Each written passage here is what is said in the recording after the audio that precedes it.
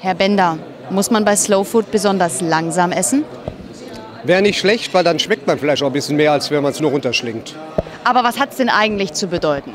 Eigentlich ist es schon eine Gegenbewegung zu Fast Food in Bezug auf äh, ja, runterschlingen, auf keinen Wert legen auf Essen oder Trinken.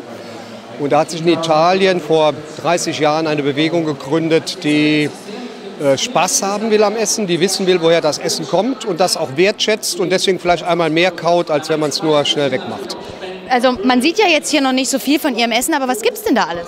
Also wir selbst sind keine Produzenten, wir sind äh, Leute, die äh, regionale Produkte einfach nach vorne bringen wollen. Bei uns hier in Dortmund ist es ein bisschen schwierig. Ähm, wir haben auch Landwirtschaft, wir besuchen bäuerliche Betriebe, wir besuchen Brauereien, wir besuchen Schnapsbrenner und versuchen Kontakte herzustellen zwischen ja, ähm, Produzenten und Verbrauchern und ähm, bilden uns eine eigene Meinung über die Qualität der einzelnen Produkte. Das ist manchmal sehr unterschiedlich.